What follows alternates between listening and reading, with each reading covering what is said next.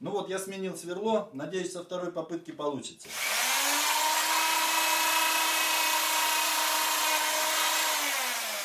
И можно просверлить еще одно отверстие, чтобы ровнее выливалось.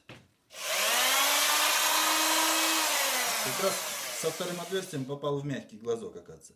Ну и сливаем водичку.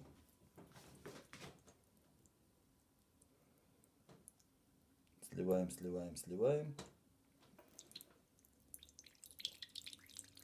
Ну, хорошо идет водичка у нас. Кокосовая водичка. Из кокосовой водички мы потом сделаем кокосовое молочко. Ну, водички я бы не сказал, что много тут получилось у нас. Буквально граммчиков 50. Ну хорошо. Теперь нам нужно разобрать кокос. Переходим к следующей процедуре.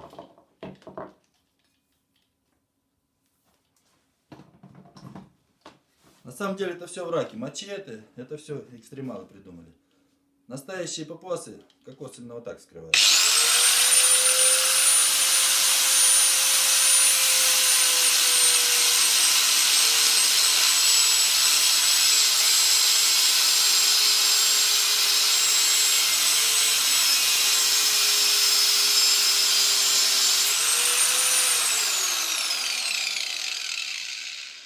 Вот приблизительно вот так вот мы делаем.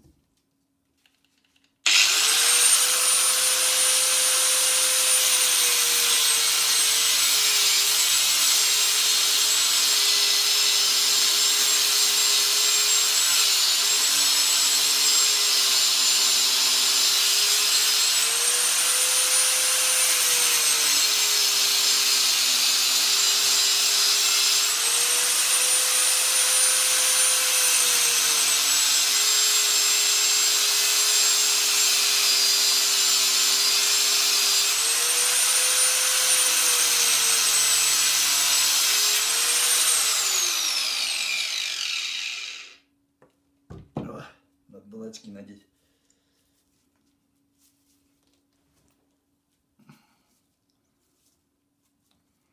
Сейчас ножик возьму.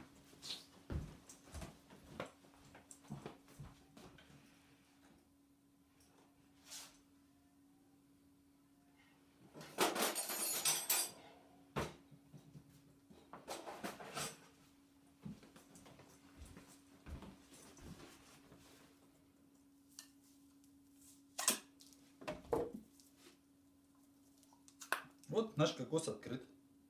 Пожалуйста, никакого мачете нам не понадобилось. Без члена вредительства и фанатизма. Все. Ну, сейчас мы это все выковырнем. И попробуем.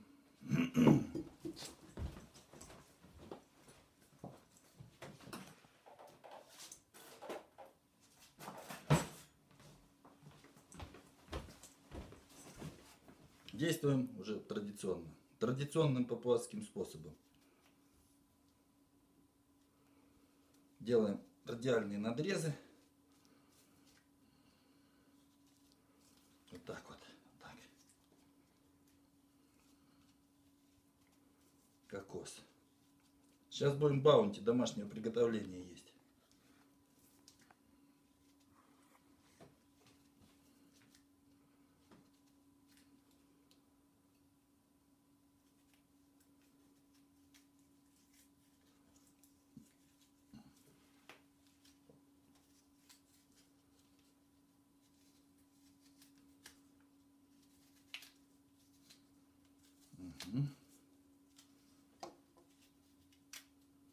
О.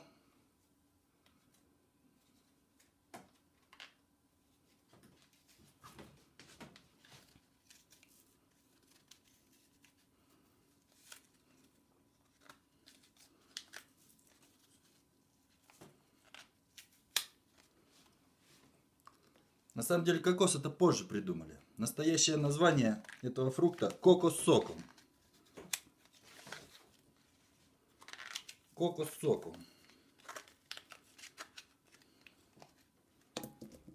Ну так вот.